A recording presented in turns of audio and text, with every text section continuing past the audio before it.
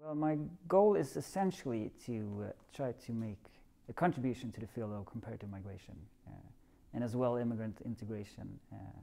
because uh, I'm basically interested in, in, the tension between the national and the international in terms of transboundary movement and national institutions. So hopefully I will be able to make a contribution to, to this field and uh, also to make something that hopefully is going to be policy, policy relevant as well in the future.